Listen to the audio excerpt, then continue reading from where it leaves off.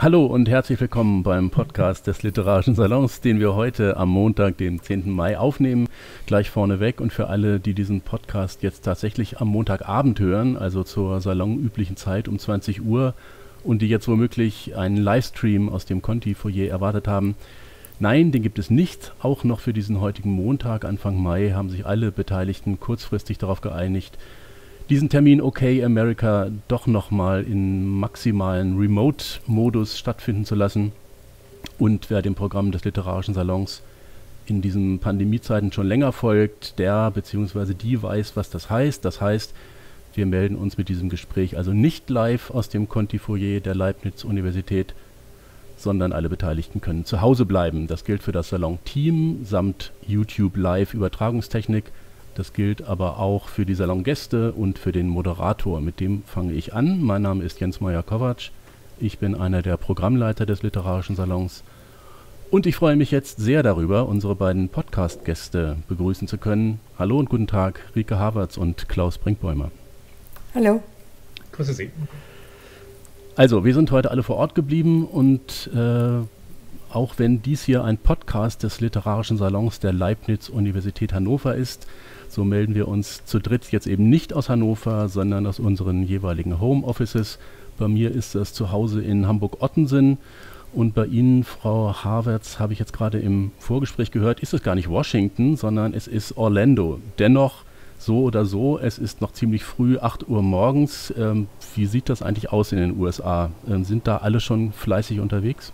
Ja, ja, die Amerikaner sind Frühaufsteherinnen und Frühaufsteher.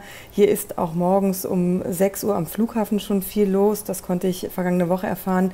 Normalerweise bin ich in Washington, D.C., Sie haben es schon gesagt, aber gerade in Orlando, Florida auf Dienstreise. Und es ist schon ganz erstaunlich, weil der Flughafen tatsächlich am Freitag vergangener Woche morgens um 6 wirklich voll war. Also man musste sich neu, also ich musste mich neu an diese Massen von Menschen gewöhnen. Es waren Schlangen. Ich hatte Angst, dass ich den Flieger gar nicht kriege, weil man ist in den vergangenen Monaten, wenn man mal fliegen musste, beruflich immer sehr knapp losgefahren, weil es war ja nichts los an den Flughäfen.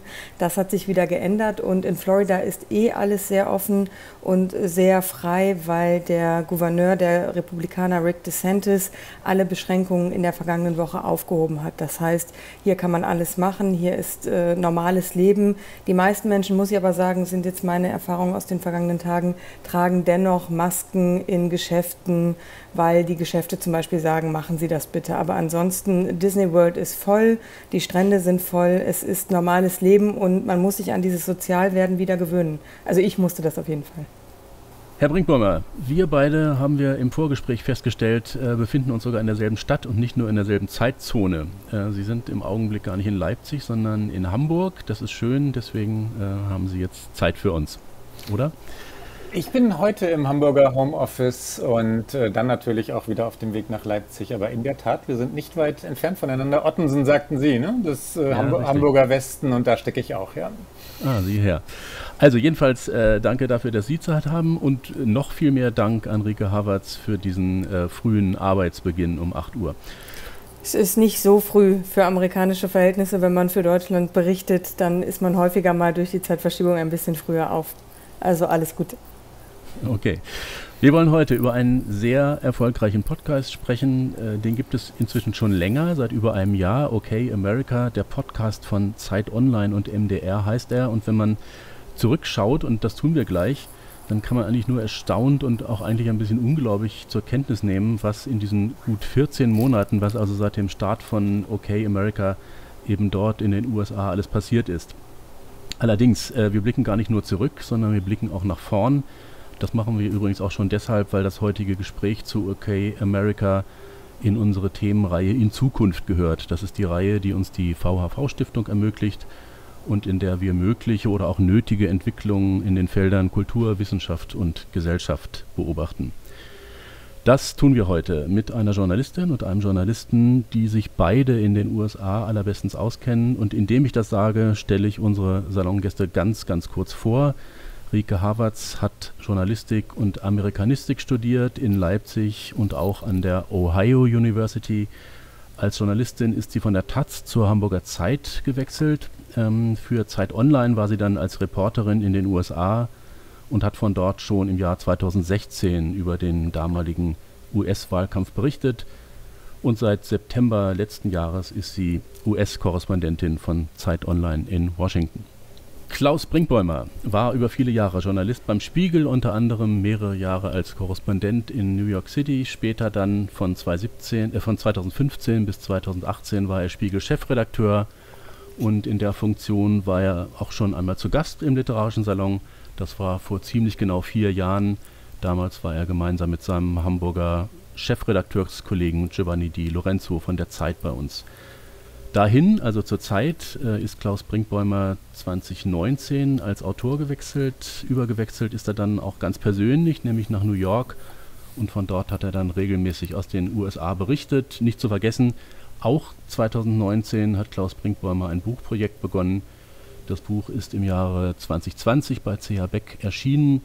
Im Wahn, die amerikanische Katastrophe heißt es, und geschrieben hat er es zusammen mit dem Dokumentarfilmer Stefan Lambi. Und die beiden haben daraus später auch einen ARD-Film gemacht. Ja, und seit Anfang dieses Jahres ist Klaus Brinkbäumer Programmdirektor des Mitteldeutschen Rundfunks in Leipzig. Wer jetzt genau zugehört hat, dem fallen schon, was die Städtenamen anbetrifft, äh, schon ein paar Gemeinsamkeiten auf. Also Hamburg, Leipzig, möglicherweise kommen wir darauf sogar noch am Ende des Gesprächs zurück. Aber wir beginnen natürlich mit den USA. Und da gehe ich jetzt mal bei Ihnen beiden davon aus, äh, dass Ihre Faszination für das Land jetzt nicht in erster Linie damit zusammengehangen hat, dass Sie über den Wahnsinn der Trump-Zeit berichten durften. Ich fange mal mit Ihnen an, äh, Frau Havertz. Sie sind ja ganz sicher nicht strafversetzt worden nach Washington, sondern Sie haben ganz im Gegenteil vermutlich einiges dafür unternommen, äh, davon Berufswegen hinzudürfen. Äh, warum die USA?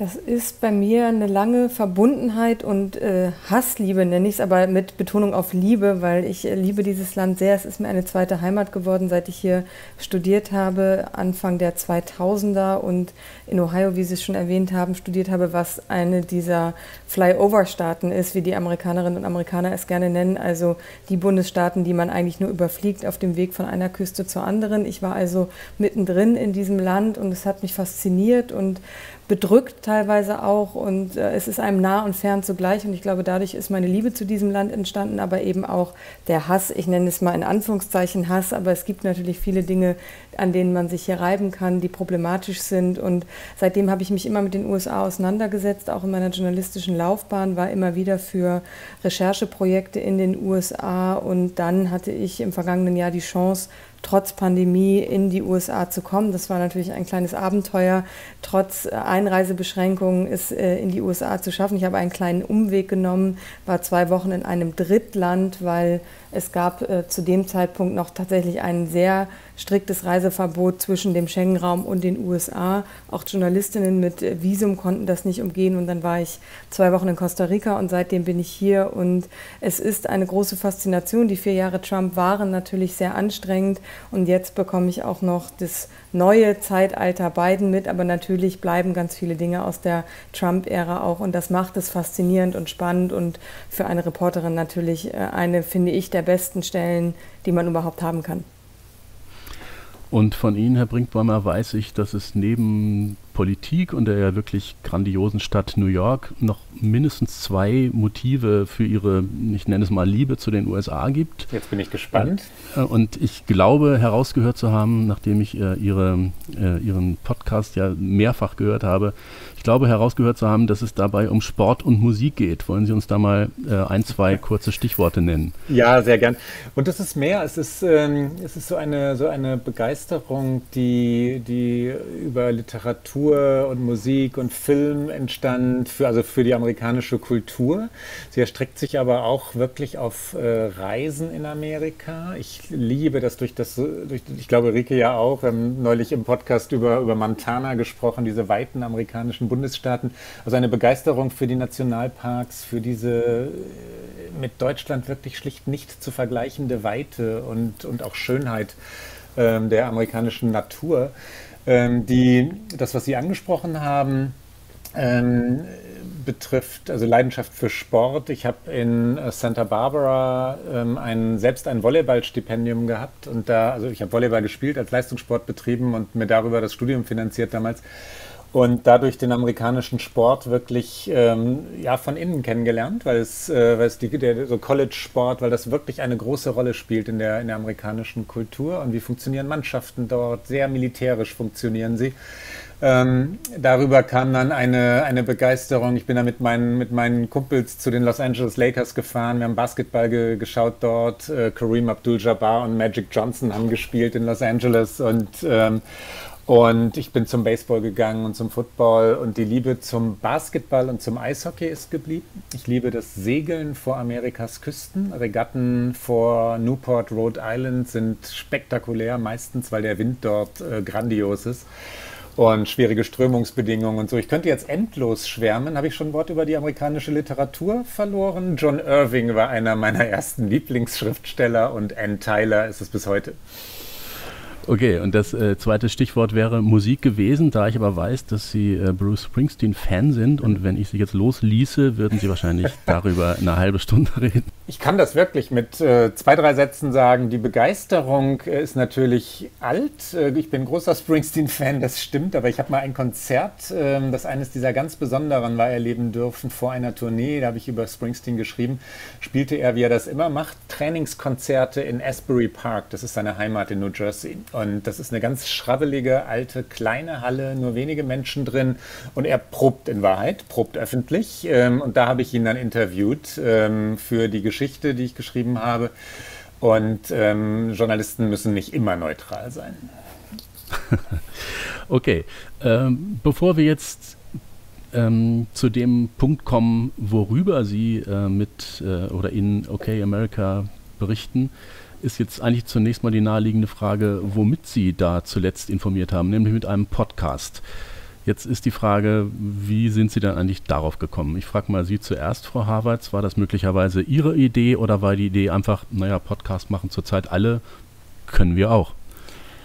Wir können das natürlich auch, das war schon klar. Deswegen haben wir natürlich auch überlegt, was wir vor einer US-Wahl noch an besonderen Themen machen könnten und auch an besonderen Formaten. Und wir hatten keinen expliziten Auslandspodcast bei Zeit Online. Wir hatten auch keinen expliziten US-Podcast. Und dadurch, dass Klaus dann bei uns als Autor tätig war und auch sehr viel Lust auf das Format hatte, glaube ich, sind so im Grunde beide Seiten unabhängig voneinander aufeinander zugekommen und dann haben wir das innerhalb von, ich weiß nicht, Klaus, erinnerst du dich noch, fünf Wochen, sechs Wochen von der ersten Idee bis zur ersten Sendung äh, aus dem äh, Boden gehoben und es macht seitdem sehr viel Spaß, aber es war tatsächlich eine sehr, sehr, sehr spontane Aktion.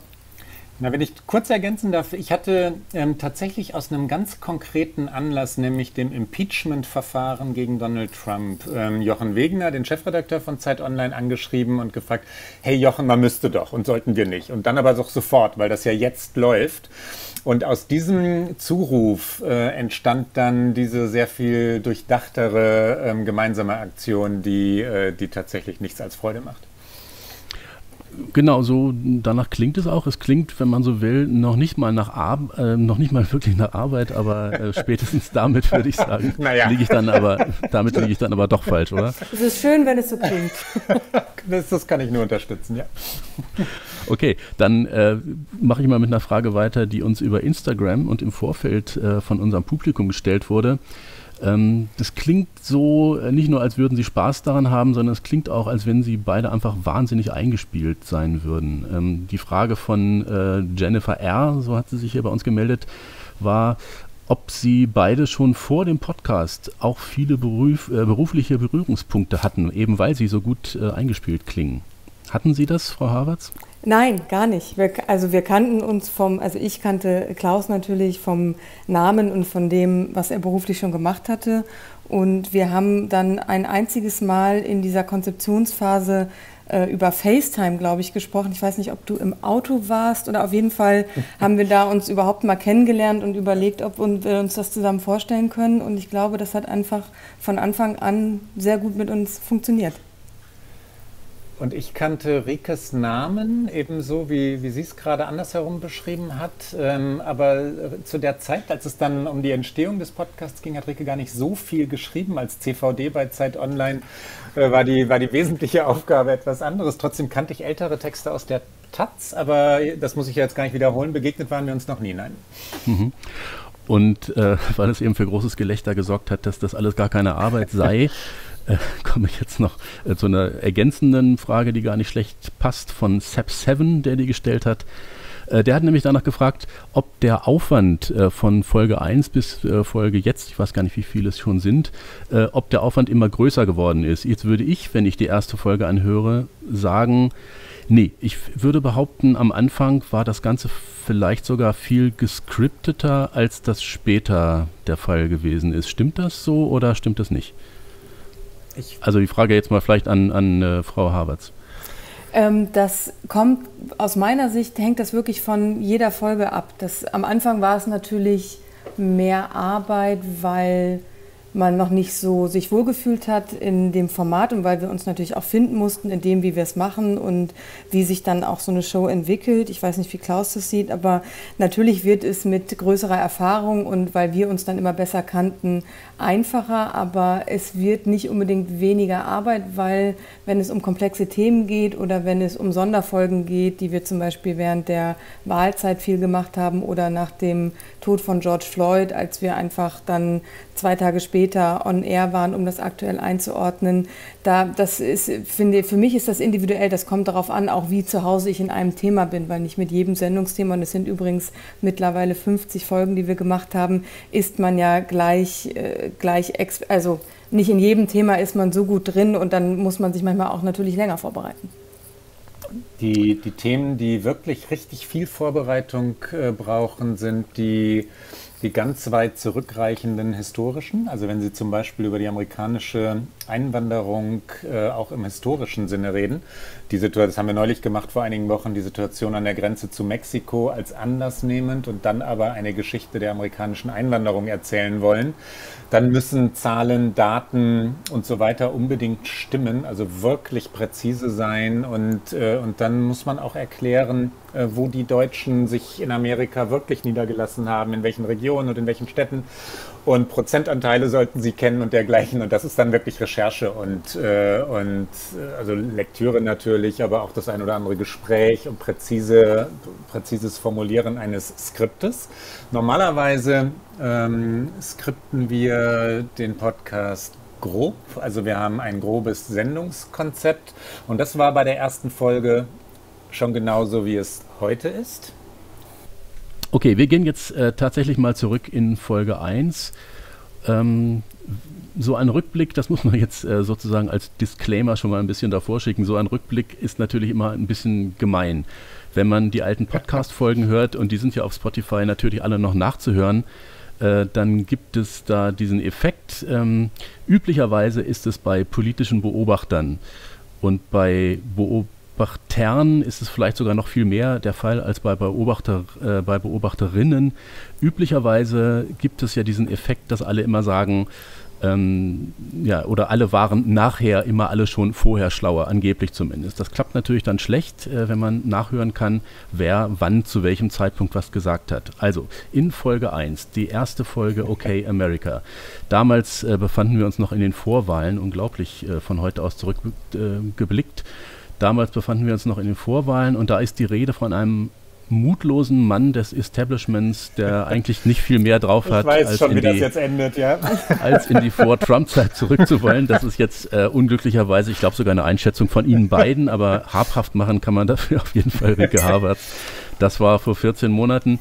Ähm, also mit diesem alten Mann, der mutlos ist und äh, eigentlich nur zurück will in die Vorzeit, ähm, das stimmt definitiv nicht, wenn wir uns jetzt die Gegenwart angucken, oder? Das stimmt nicht, das stimmte aber, möchte ich zu meiner eigenen Verteidigung sagen, damals im März, weil im Vorwahlkampf hat er sich nicht als besonders progressiv, nicht als besonders links dargestellt, sondern da war er ein Kandidat der äh, moderaten Demokraten und äh, er hat, glaube ich, äh, alle überrascht. Und das ist aber auch gut. Und das ist was Positives. Und deswegen bin ich äh, sehr froh, dass meine Einschätzung von vor einem Jahr nicht mehr stimmig ist, weil Joe Biden tatsächlich vielleicht genau der Präsident ist, den dieses Land gerade braucht, weil er ist entschlossen, er ist dynamisch, er geht viele Dinge an und vor allen Dingen hat er, das ist für mich, finde ich, fast das Wichtigste, neben seinem Covid-Hilfsprogramm und seinem Infrastrukturprogramm auch noch ein großes, eine große Gesetzesinitiative zu, er nennt es America Families Plan, aufgesetzt und da geht es vor allen Dingen um Sozialpolitik. Da geht es um Vereinbarkeit von Familie und Beruf. Da geht es darum, äh, Kinderarmut zu bekämpfen. Da geht es darum, äh, Kitan, Kitas auszubauen. Und ich glaube, das ist etwas, was diesem Land tatsächlich fehlt und was strukturell eine Veränderung bringen könnte, auch langfristig über einen Stimulus-Check hinaus. Mhm. Damit sind wir dann auch schon ja. in, der, in der Gegenwart. Aber jetzt äh, tatsächlich würde ich auch nochmal fragen, äh, Frage an Sie, Klaus Brinkbäumer. Ähm, Sie waren damals ein äh, erklärter Steve Buttigieg-Fan und waren auch kein Mann von für Joe Biden, oder? Ich mochte einige der anderen Kandidatinnen und Kandidaten lieber. Der, der von Ihnen genannte Buttigieg gehört dazu. Elizabeth Warren, ähm, die, die von Rike nun auch sehr geschätzt wird, wie mehrfach zu hören war in den älteren Folgen, äh, gehört dazu. Die ähm, Bernie Sanders war kämpferisch damals und war zwischenzeitlich auch der Favorit. Ähm, die, ich habe überhaupt kein Problem damit, Fehler einzugestehen. Da waren einige Fehleinschätzungen in den letzten Monaten und äh, zu den USA gehört tatsächlich auch immer der, der Widerspruch dazu. Man findet in diesem so, so großen und weiten Land für jede These eine Gegenthese. Und dann ist immer die Frage, was setzt sich durch. Da kann man dann, wenn man es vorab, äh, also wenn man es zu prognostizieren versucht, schon auch mal falsch liegen. Bei beiden, Rike hat es gerade schon angedeutet, ähm, war es aber wahr damals. Der war wirklich einer der schwächsten Wahlkämpfer und er verlor ja auch, das vergisst man jetzt in der Rückschau leicht, die ersten Vorwahlen richtig drastisch. Also er war in äh, Iowa und New Hampshire richtig abgeschlagen und dann hat sich das Partei-Establishment geeinigt auf Biden, um Sanders und Warren, die ihnen zu progressiv waren, zu verhindern. Ne? Also es war so ein richtiger Schachzug. Wir einigen uns auf einen Mann der Mitte, dann haben die Progressiven nicht genug Stimmen. Das ist demokratisch legitim, das ist kein Putsch oder so. Es, ist, es, waren, es gab Abstimmungen und dann sind andere moderate Kandidaten zurückgezogen und haben den Weg für Biden freigemacht. Und plötzlich kam er nach vorne.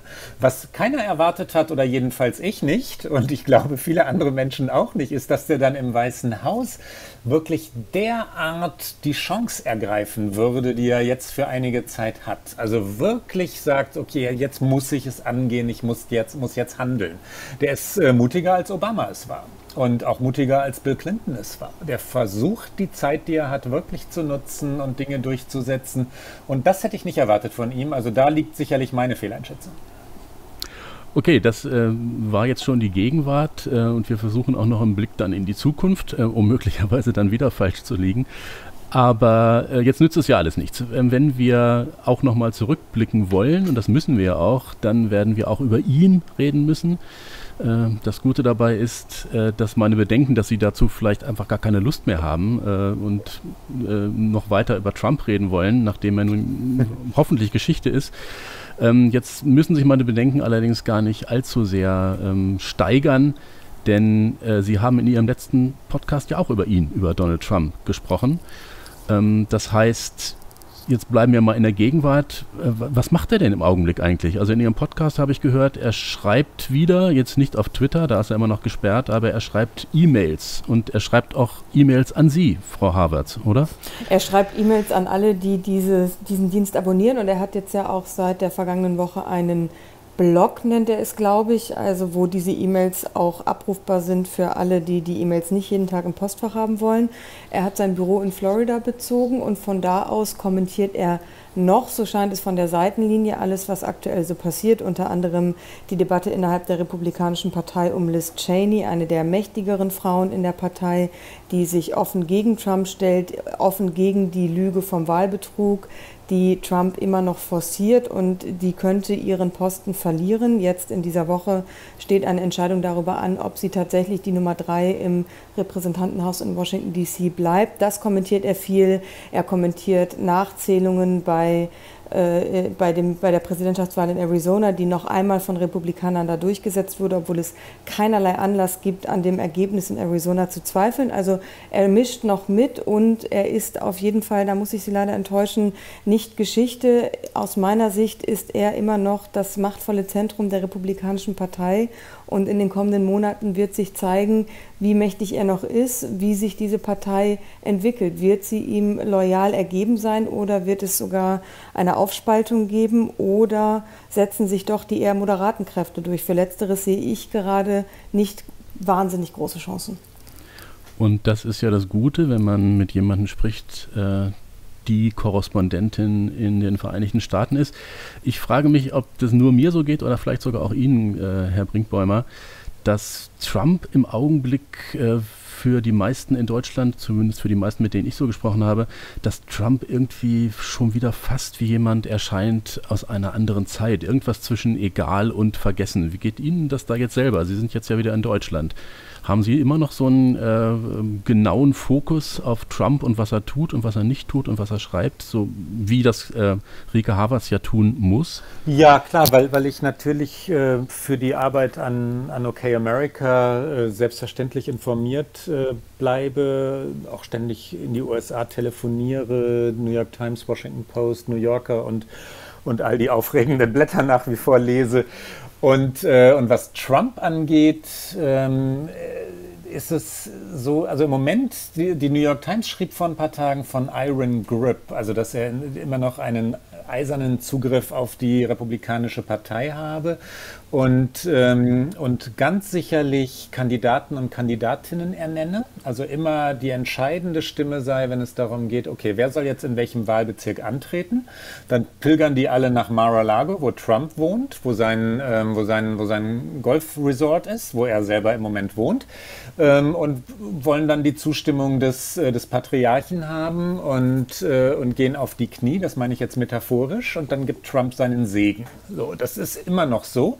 Und ähm, da wir vorhin schon bei Fehleinschätzungen waren, ich hätte gedacht, dass Donald Trump nach der Wahlniederlage und nachdem die Republikaner ja auch äh, den Senat noch verloren hatten, äh, langsam verschwinden würde und dass die Partei sich auch langsam von ihm lösen würde. Und das ist so nicht. Die haben sich wirklich verschworen. Die sagen auch, äh, die Republikaner sagen mehrheitlich, nur mit Trump können wir wachsen. Das ist ein Zitat von Lindsey Graham aus den vergangenen Tagen. Und äh, das bedeutet, dass sie die Lügen vom vermeintlichen Wahlbetrug, also die Erzählungen vom vermeintlichen Wahlbetrug mittragen und, äh, und tatsächlich lieber Trump treu bleiben, als wahrhaftig zu agieren. Das ist schon eine, eine heftige Entscheidung für eine eigentlich demokratische Partei.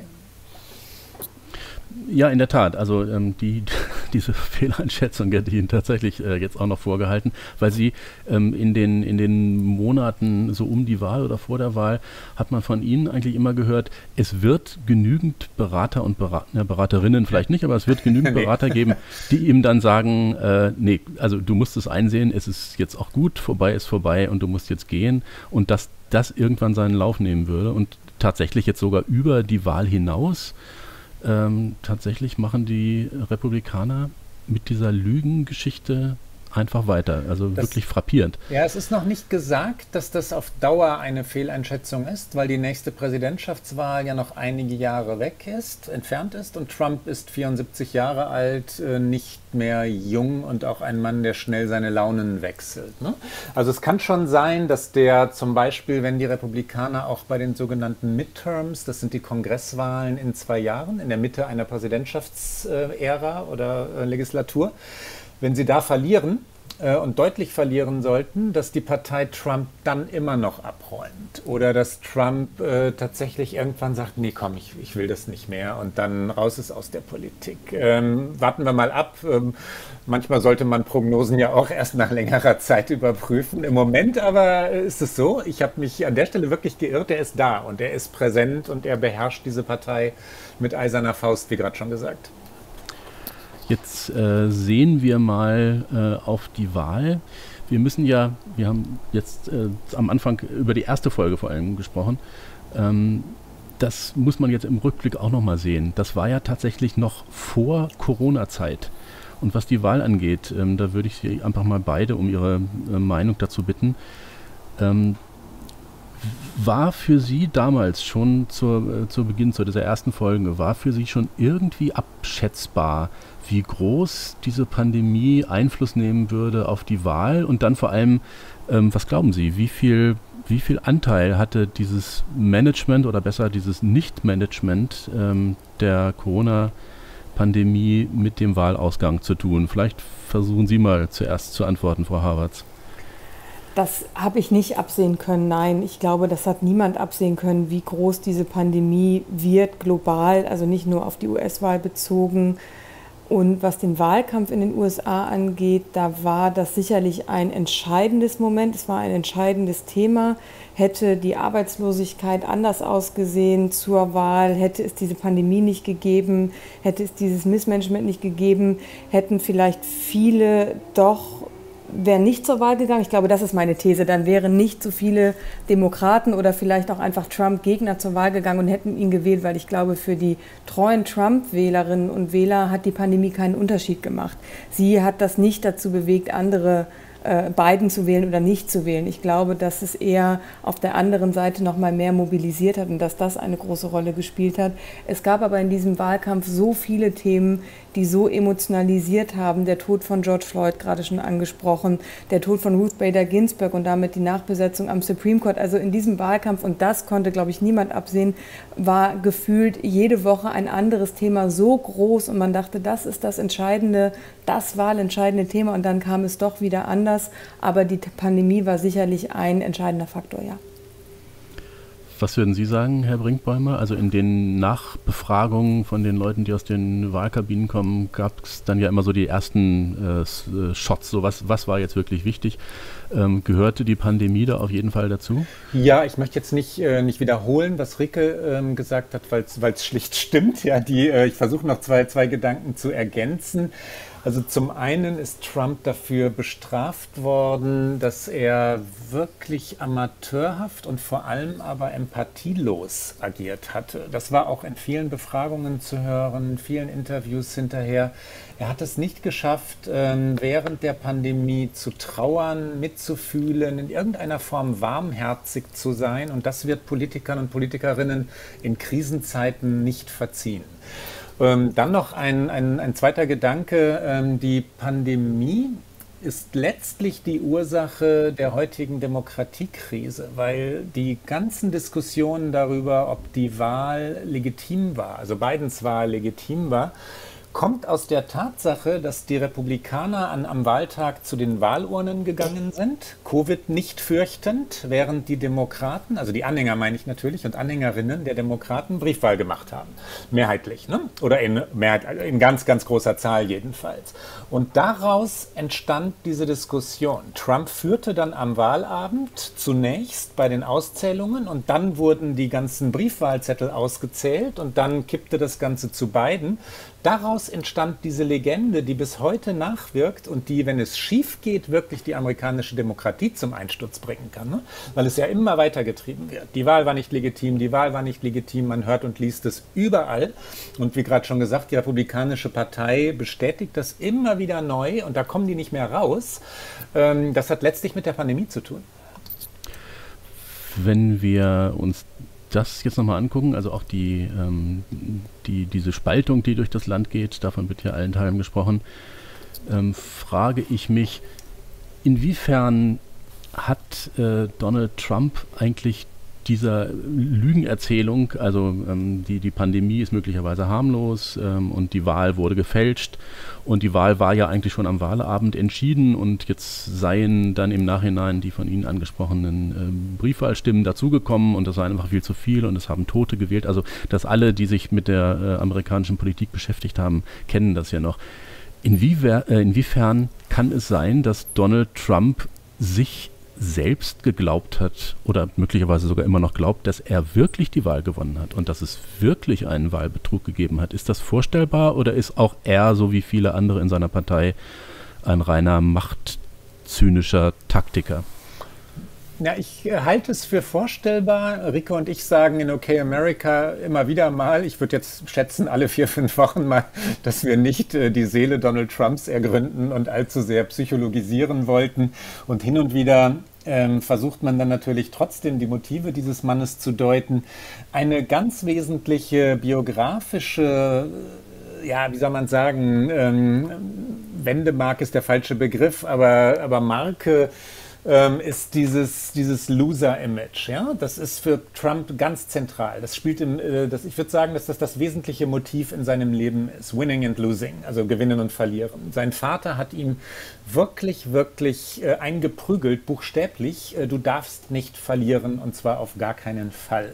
Ich glaube, Trump kann das nicht zugeben, dass er verloren hat. Schon gar nicht gegen jemanden wie Joe Biden, den er für einen Schwächling hält. Ja? Nach Trump-Kategorien ist Biden ein irgendwie weicher Mann, so, also kein, kein echter Kerl. So aus, ich argumentiere jetzt aus Trumps Sicht ne, oder versuche das verständlich zu machen, dass, ähm, dass er es möglicherweise selber glaubt, weil er sich so weit hineingeredet hat. Ähm, das war ja Ihre Frage gerade, kann sein, ist möglich. Ähm, seine Berater oder jedenfalls die Leute, die ihn erreichen, bestärken ihn in seinen Thesen. Das hörte man aus dem Trump-Umfeld immer wieder in den, in den vergangenen Monaten. Er hat wenig Leute noch um sich gehabt, die gesagt haben, äh, Mr. President, das ist einfach Unsinn, was Sie da sagen. Die gab es nicht mehr, die waren alle weg. Ähm, und wenn er dann nur bestärkt wird und wenn er nur die Medien hört, Fox News und so weiter, die es und sieht, die es auch bestätigen, dann kann es schon sein, dass er irgendwann selber so weit ist, ähm, dass er sich für unfehlbar und eben unbesiegbar hält. Aber das ist jetzt nur eine These. In Wahrheit kann man das nicht wissen. Ne? Dass er rein zynisch drauf schaut und sagt, das ist jetzt unsere Strategie, wir kommen damit durch, äh, damit fangen wir die Leute an und es in Wahrheit besser weiß, ist auch möglich. Jetzt haben wir von äh, Spaltung schon gesprochen und das Stichwort ist auch schon gefallen, Black Lives Matters. Ähm, auch verglichen, was die, oder auch äh, in, in Bezug auf den Wahlausgang, aber eigentlich auch verglichen mit dem, was heute ist. Ähm, was würde man sagen, wie ist, wie war oder wie ist das Verhältnis der weißen Noch-Mehrheitsbevölkerung zu den People of Color jetzt und ähm, inwieweit kann man sagen, ja, Biden hat möglicherweise jetzt schon etwas dazu getan, um diesen Graben, der sich da aufgetan hatte oder diese Spaltung, die da zu sehen war, ähm, das äh, irgendwie zu, ähm, zu heilen, hat man da ja in dem Fall immer gesagt, Frau Havertz. Mhm. Ich glaube, man darf nicht von Heilung sprechen. Ich glaube, damit wird man keinem Präsidenten gerecht, weil das ein viel zu großes Wort ist für das, was in diesem Land seit Jahrzehnten passiert. Diese Spaltung ist nicht erst seit Donald Trump da. Diese Spaltung hat sich über Jahrzehnte gebildet. Kein kein Mann allein, kein Präsident allein, keine Präsidentin allein könnte diese, diese Spaltung einfach mal so ungeschehen machen.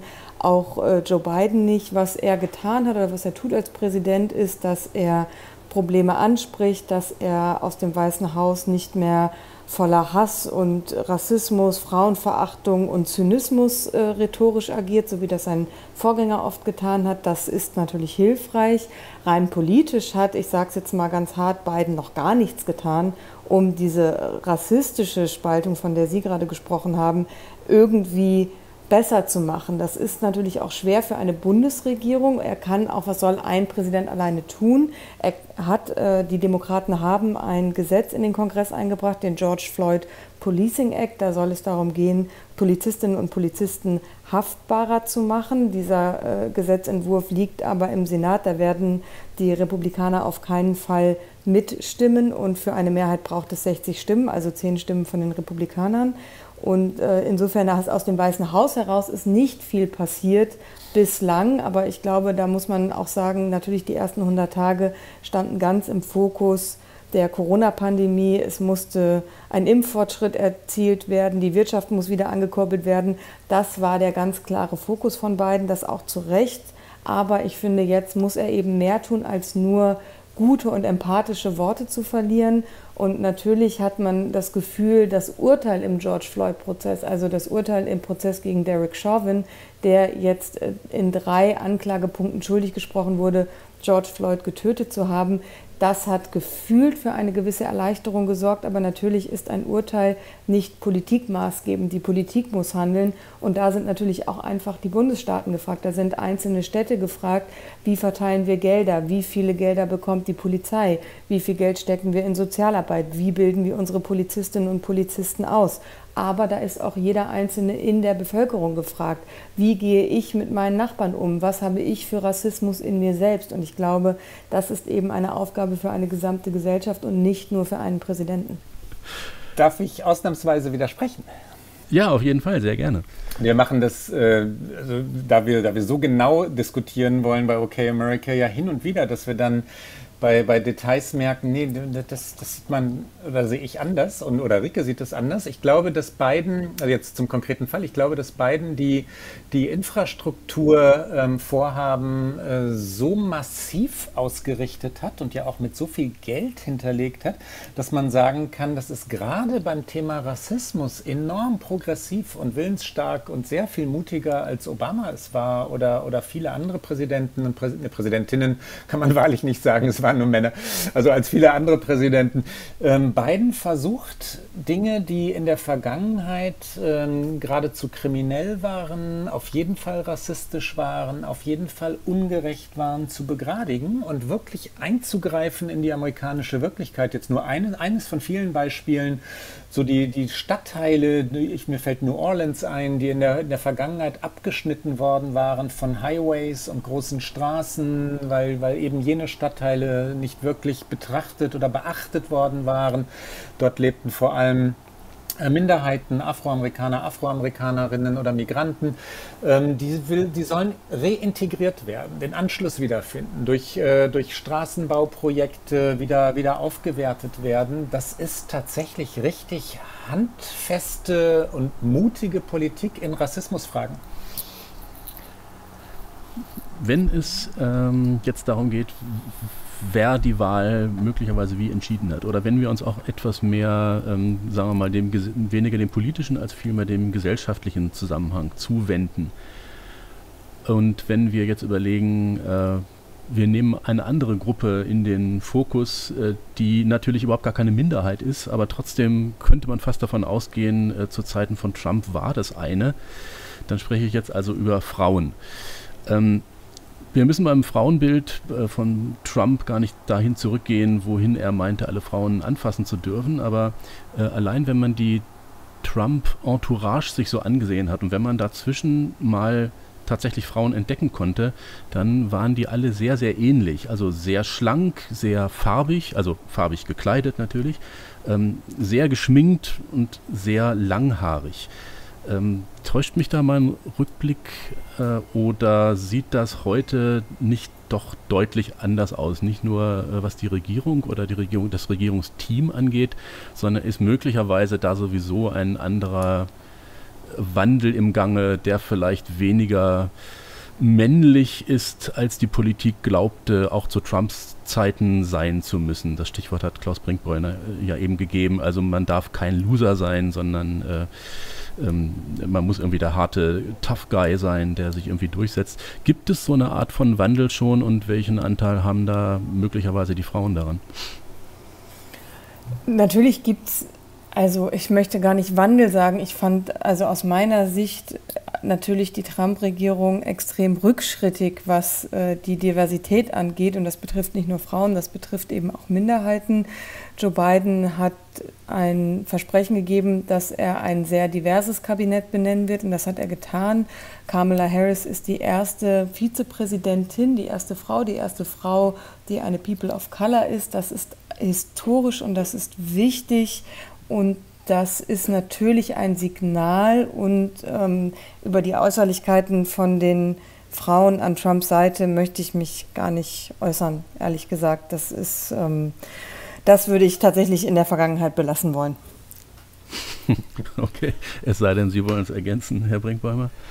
Nee, nicht wirklich. Die ähm, über Äußerlichkeiten äh, tatsächlich mag, mag ich auch nicht reden. Die, ähm, die, die Trump-Welt, also sein, sein, sein Männer-Frauen-Bild, ähm, das ist nun oft genug belegt worden. Ähm, die, der, ich überlege jetzt, ob mir noch, ähm, noch weitere Dinge aus seiner Vergangenheit einfallen, aber er ist der Ver Vergewaltigung beschuldigt worden, das wissen Sie. Er hat, ähm, er hat Modelwettbewerbe ausgerichtet Und, äh, und es wurde Schweigegeld an Prostituierte gezahlt. Ähm, ich glaube, das genügt an Beispielen. Das sagt einiges über sein Frauenbild. Die, die, das, wenn man sich das Biden-Kabinett anschaut, kann man wirklich erfreut sein. Es gibt mehrere Leute. Äh, Buttigieg hat das neulich gesagt, Pete Buttigieg, ähm, dass er beim Blick auf das Kabinett denke, das ist Amerika.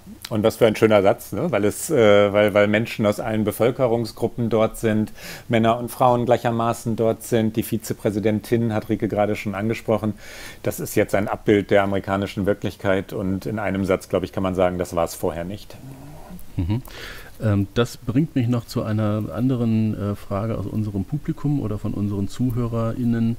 Ähm, Fabian Del Rey, so nennt er sich, ähm, hat, das Stichwort ist gefallen, hat gefragt, wie würden Sie das denn beurteilen, Kamala Harris? Es gibt ja diese 100-Tage-Bilanz. Äh, wie sieht die denn für Kamala Harris aus? Ist da jetzt schon viel zu sehen gewesen oder hält die sich noch zurück?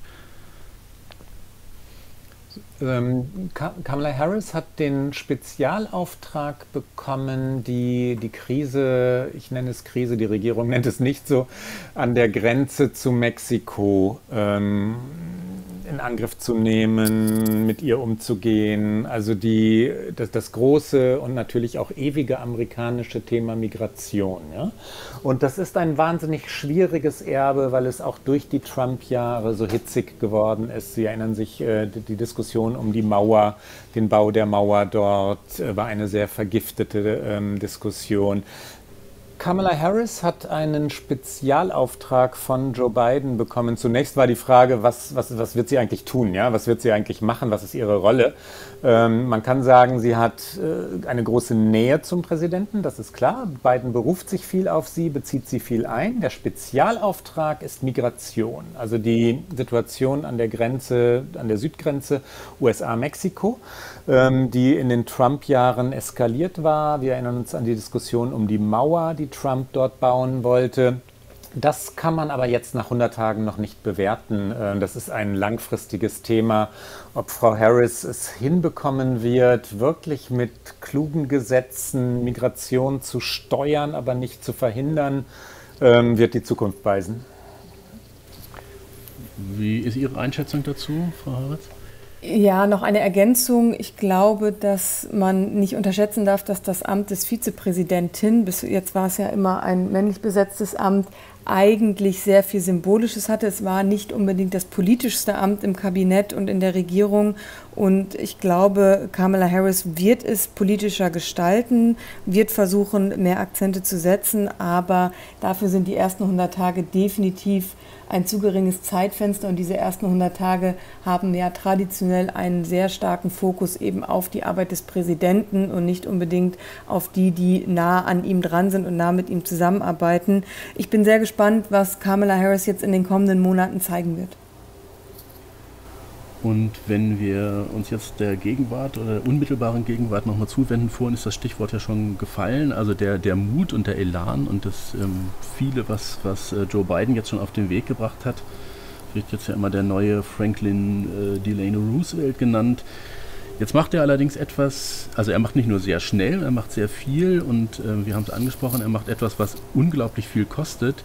Er macht es auch, äh, und das ist für jeden Republikaner wahrscheinlich das Allerschlimmste, was passieren kann. Er macht es dann auch noch ähm, mit sehr, sehr viel Staat. Wie kommt das denn an, da in der Bevölkerung so quer durchs Land gesehen, dass da jetzt unglaublich viel Geld ausgegeben wird ähm, durch den Staat, der da mehrere Billionen, muss man dann ja sagen, äh, Dollar zur Verfügung stellt für Infrastruktur und so weiter. Kommt es gut an oder gibt es auch da eine ganz klare Spaltung? Eine Seite sagt, perfekt und die andere Seite sagt, das ist alles des Teufels. Ja, die Spaltung gibt es natürlich auch da. Die Republikaner lehnen die Pläne von beiden ab, vor allen Dingen auch den Infrastrukturplan. Und der ist ja noch nicht durch den Kongress verabschiedet. Das muss man auch dazu sagen. Äh, viele Pläne, die Biden vorgestellt hat, müssen durch den Kongress verabschiedet werden. Da wird er noch verhandeln müssen, da wird er auch noch Kompromisse machen müssen aber äh, die Spaltung ist eben auch in der Bevölkerung. Es gibt, ich habe es jetzt gerade tatsächlich vor unserer Aufnahme auf CNN gehört, Debatten darüber, ob die Arbeitslosenchecks und diese Einmalhilfen, die die Menschen jetzt bekommen haben in der Pandemie, ob die jetzt sofort wieder zurückgeschraubt werden sollen, weil sie verhindern würden, dass die Menschen sich einen Job suchen und dass die Unternehmer und Unternehmerinnen keine Angestellten mehr finden, weil eben das Geld vom Staat dazu dienen würde, dass man zu Hause bleibt. Es gibt republikanische Senatoren, die eben diese aufgestockten Arbeitslosenhilfen jetzt wieder kappen wollen, damit wieder Leute mehr Jobs bekommen. Das ist eine Debatte, die hier äh, forciert wird und die wird vor allen Dingen von konservativer Seite forciert. Das Gegenargument natürlich von den Demokraten ist, dass äh, die Arbeitsplätze teilweise noch nicht sicher sind. Das liegt an der Pandemie und dass natürlich im Verlauf der vergangenen Jahre, ähm, des vergangenen Jahres, des Pandemiejahres, so viel wirtschaftliche Schwächung da war, dass Menschen einfach teilweise sich hier keine Lebensmittel leisten können und äh, eine kurzfristig aufgestockte Arbeitslosenhilfe nicht dafür dafür Sorge trägt, dass Menschen nicht arbeiten gehen. Aber das ist die Erzählung, die die Republikaner jetzt aufmachen. Und das ist natürlich die Angst vor zu viel Staat. Herr Brinkbäumer, um das noch ähm, ein bisschen äh, zuzuspitzen, das Ganze, ähm, viel, viel Geld ausgeben und sozusagen, so nennt man das dann ja immer, mit der Notenpresse die Wirtschaft anzukurbeln, das ist ja eigentlich gar nicht nur eine Sache der Demokraten, sondern äh, das haben ja auch schon Republikaner gemacht. Also die Tatsache, dass überhaupt viel Geld sozusagen ins System gepumpt wird, ist jetzt nicht äh, nur urdemokratisch.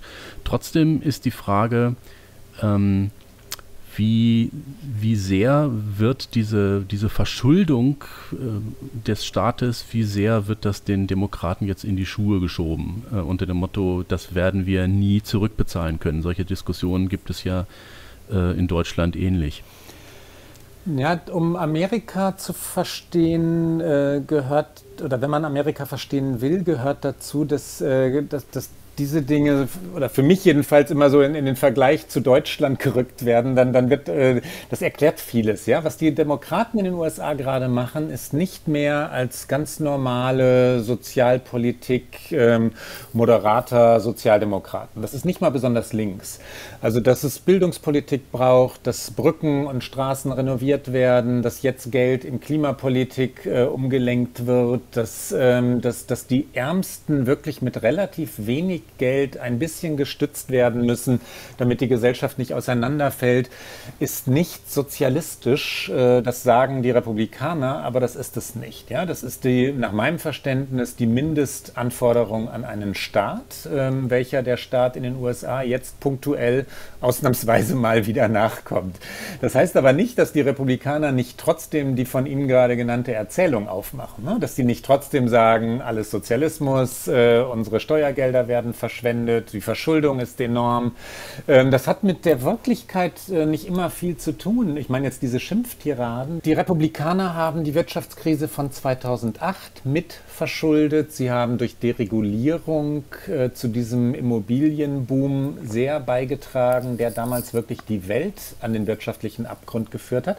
Sie haben auch durch enorme Militärausgaben die amerikanische Wirtschaft aus dem Gleichgewicht gebracht. Und über Verschuldung reden die Republikaner stets dann, wenn die Demokraten an der Regierung sind. Ja? Wenn sie selber regieren, also die Republikaner, dann spielt Verschuldung eine, eine wesentlich geringere Rolle. Ganz wesentlicher Punkt, durch diese permanenten Steuersenkungen haben die Amerikaner ähm, wenig, haben die Republikaner, Entschuldigung, dafür gesorgt, dass wenig Geld für den Staat zur Verfügung steht. Ähm, das versuchen die Demokraten gerade wieder zu ändern, damit der Staat seine Aufgaben übernehmen kann. Ähm, trotzdem, die Tiraden dagegen wird es geben, na klar. Ich ähm, gehe jetzt noch ein Stück zurück und nutze dafür eine Salonveranstaltung, die wir vor zwei oder vor drei Wochen hatten. Da ging es um die Modern Monetary Theory. Dazu ist in Deutschland ein Buch erschienen äh, von Maurice Höfgen, heißt der Autor. Es heißt Mythos Geldknappheit. Ähm, da müssen wir jetzt gar nicht im Einzelnen darauf hinaus äh, ähm, äh, drauf eingehen. Also in Kürze gesagt heißt es einfach nur, der Staat hat für die wirklich relevanten Belange, um die es geht, also wie zuletzt Pandemiebekämpfung, aber auch bei Infrastruktur, Arbeits, äh, Armutsbekämpfung oder Klimaschutz. Der Staat hat eigentlich kein Finanzierungsproblem. Er muss das Geld einfach nur bereitstellen und dann dafür sorgen, dass die Wirtschaft nicht überhitzt. Das ist eine Theorie, auf die dann Bernie Sanders und Alexandria Ocasio-Cortez ähm, mit zurückgegriffen haben. Und es wirkt im Augenblick so, als würde Joe Biden dem folgen? Ich weiß nicht, ob Sie beide die Theorie kennen und ob meine, ähm, ja, meine Überlegung, dass Joe Biden möglicherweise jetzt wirklich, wirklich, würde Klaus Brinkböhmer sagen, wirklich linke Geldpolitik macht, ob das stimmt oder ob ich das fehl einschätze. Ich kenne jetzt die. Nee, Klaus, gerne. Gerne du zuerst.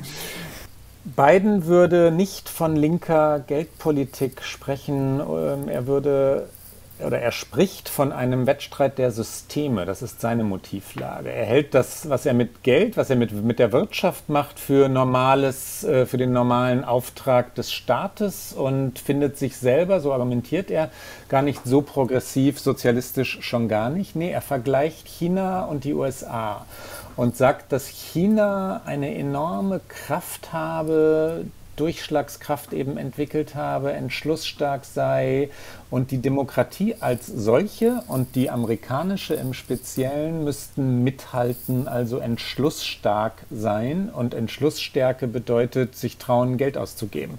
Also so geht er ran. Und ich würde auch nicht sagen, dass das irgendwie besonders links sei oder besonders ähm, ähm, progressiv, sondern die Amerikaner haben wirklich viel aufzuholen. Mhm. Frau Havertz.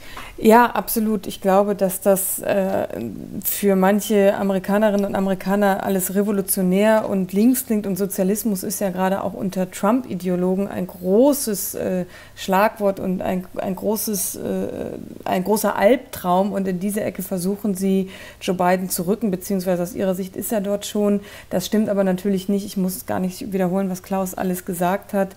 Es ist einfach, glaube ich, wirklich die Intention, dass es den Amerikanerinnen und Amerikanern wieder besser geht. Und darauf gründet Joe Biden derzeit seine Politik und das bedeutet eben auch mehr Staat. Aber mehr Staat muss nicht unbedingt zwingend was Negatives sein.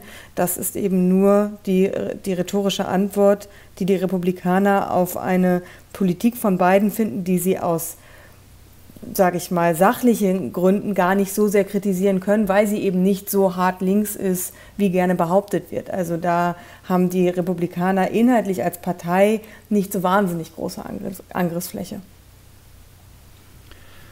Jetzt haben wir den Podcast thematisch ein bisschen damit begonnen, dass ich Sie beide danach gefragt habe, äh, woher Ihre Faszination oder vielleicht auch Ihre Liebe oder Hassliebe, haben Sie gesagt, äh, Frau Havertz, woher die eigentlich stammt. Äh, für mich gibt es noch ein Motiv, dem wir gar nicht bislang auf die Spur gegangen sind. Das müssen wir auch nicht allzu ausführlich machen, aber doch zumindest mal in Teilen. Und zwar äh, ist für mich äh, ist immer fast nicht nachvollziehbar gewesen, wie sehr sich die, ähm, nennen wir es jetzt ruhig mal, die Amerikaner und die Amerikanerinnen als, ein, als eine auserwählte Nation sehen. Also diese Vorstellung, ähm, dass es nur natürlich sei, dass die Vereinigten Staaten sozusagen vorangehen. Sie tun das jetzt wieder, sie sind wieder da, nachdem es ja bei Trump irgendwie anders ausgesehen hat. Aber die Vorstellung, dass äh, es ausgerechnet die Vereinigten Staaten sind, die äh, dazu berufen sind, äh, ähm, Leader of the Free World zu sein, ähm, das scheint irgendwie aus der äh, eine religiöse Vorstellung zu sein. Sehe ich das richtig? Und wie viel spielt Religiosität eine Rolle und inwiefern können Sie das nachvollziehen? Also Religion hat da, glaube ich, gar nicht so viel mit zu tun, da haben andere Dinge mit zu tun. Ich muss ganz kurz nur einhaken, weil das, diese Hassliebe vom Anfang, das klingt so wahnsinnig hart. Ich würde es so viel lieber im Englischen sagen, weil da wird zuerst das Wort Love, da heißt es immer Love-Hate-Relationship. Und da wird nämlich die Liebe überbetont und nicht der Hass. Und im Grunde genommen möchte ich das doch nochmal, das klang jetzt gerade nochmal so, als wenn ich so sehr ablehnend den USA gegenüber wäre, was ich natürlich nicht bin. Ich, äh, ich liebe sie sehr. Das nur nochmal dazu. Ähm, tatsächlich bedenklich finde ich das, was Sie gefragt haben. Vielleicht ein bisschen diese äh, diese Selbstverständlichkeit, mit der sich die USA immer zu dem Weltenretter aufschwingen, das hat natürlich vor allen Dingen Gründe in der Geschichte, in der Geschichte des Zweiten Weltkrieges, aus dem die USA sehr gestärkt hervorgegangen sind, als Siegermacht, als die Macht, die auch Europa wieder auf die Beine geholfen hat, äh, wirtschaftlich, politisch, demokratisch. Den USA ging es nach dem Zweiten Weltkrieg anders als Europa eben sehr gut. Sie hatten auch ein intaktes Militär, ein mehr oder weniger intaktes Militär. Und darauf gründet sich dieser Anspruch in, in weiten Teilen. Und ähm, man muss natürlich nach vier Jahren Trump sich die Frage stellen, inwieweit äh, diese Aussage der USA als äh, größte Demokratie der Welt und als äh, schönste Demokratie der Welt noch Glaubwürdigkeit besitzt. Und diese Glaubwürdigkeit ist natürlich angekratzt. Herr Brinkmann, würden Sie auch sagen, hat äh, mit Religion gar nichts zu tun, hat andere Ursachen oder äh, würden Sie sozusagen meiner Spur folgen wollen? Naja, historisch hat es mit Religion zu tun, weil die, äh, die Einwanderer, die, aber das ist jetzt viele Jahrhunderte her, ähm, den, so die, die Reise in die USA, die Überquerung des Atlantiks oft mit, äh, religiösen Motiven, Motiven, verbunden haben. Die USA als gelobtes Land, das dann aber auch äh, ganz, ganz außergewöhnlich stark war, groß war, gewaltig war und dann in vielen Dingen im Laufe der Jahrhunderte natürlich auch erfolgreich war. Das hat schon eine religiöse Komponente, aber heute bin ich bei Ricke und, äh, und sage, nee, da, da geht es da geht's um andere Dinge. Und im Moment würde ich übrigens auch sagen, die USA merken, dass sie nicht mehr die auserwählte Nation sind. Sie sind ja tatsächlich nicht in der Lage, sich zu einen auf ein und zu einigen, zu verständigen auf ein Ziel. Zum Beispiel Covid-19 zu bekämpfen durch, äh, durch wirklich flächendeckendes Impfen, sodass Herdenimmunität erreicht wird. Ähm, das, das, schaffen die USA nicht, weil sie nicht mehr zusammenhalten können und das schwächt sie als Nation und das merken sie selbst. Ja, vielen Dank. Wir nähern uns hier dem Ende unseres Podcasts und weil ich weiß, dass Sie beide ähm, ja eine sehr schöne Ausstiegsmöglichkeit haben und weil ich weiß und weil alle sagen, ähm, dieser Ihr Podcast OK America ist besonders dafür zu loben, dass er sehr, sehr spontan ist, habe ich auch keine Skrupel, das jetzt bei Ihnen zu testen. Oh je. Äh, und da wir uns im literarischen Salon befinden, zumindest im Podcast des Salons, frage ich Sie mal, äh, ob Sie sich das spontan zutrauen, ein spontanes Get-Out zu machen, indem Sie eines oder das aktuelle Buch äh, nennen können, das Sie gerade lesen. Wer will oder wer muss jetzt zuerst? Äh, ich kann zuerst, ähm, ich habe es ausgelesen schon, aber ich muss es einfach nennen. Es ist Britt Bennett, The Vanishing Half. Es ist das zweite Buch von einer US-Autorin, die ich unbedingt empfehlen möchte. Und es ist ein ganz tolles Buch, es ist eine Erzählung über die amerikanische Gesellschaft, über Rassismus, über ganz viele Fragen, die wir hier diskutiert haben. Es ist wunderbar geschrieben, es ist ein großes Lesevergnügen und man blickt wirklich ein bisschen in die, in die Seele Amerikas, möchte ich sagen. Und ähm, es ist äh, sehr schön. Ja, vielen Dank. Äh, Herr Brinkböhmer, haben Sie auch ein spontanes Get Out für uns? Ja, Sie, Sie möchten ja bestimmt Ehrlichkeit, dann führt es mich aber nach Italien. Ich lese gerade Elena Ferrante, The Lying Life of Adults. Ich lese es auf Englisch. Elena Ferrante ist natürlich ähm, Neapolitanerin und berühmt geworden durch My Brilliant Friend. Äh, wie heißt es auf Deutsch? Meine geniale Freundin, glaube ich. Ich bin nicht ganz mhm. sicher, was den deutschen Titel angeht. Ähm, und das ist ein, ein Roman über The Lying Life of Adults, also wie Erwachsene sich durchs Leben lügen und wie Eltern sich durchs Leben lügen und äh, auch wieder empfehlenswert. Ja, Ehrlichkeit ist immer ganz, ganz ausgezeichnet. Ähm, ich bin auch ehrlich, weil ich habe es mir leicht gemacht. Ich bin natürlich überhaupt kein bisschen spontan und obendrein ist das Ganze auch noch eine verkappte Schleichwerbung. Also mein Get Out ist auch ein Buch. Es ist eine Textsammlung. Es heißt Erinnern, Stören ist herausgegeben worden von Lydia Lierke und von Massimo Perinelli, erschienen im letzten Jahr im kleinen, aber sehr umtriebigen Hamburger Verbrecherverlag. Und der Anlass für dieses Buch ist die Deutsche Wiedervereinigung gewesen. Der Mauerfall aus migrantischer und jüdischer Perspektive heißt das Buch, untertitelt. Und das war ein guter Anlass für uns, die Herausgeberin und den Herausgeber von Erinnern Stören in den literarischen Salon einzuladen.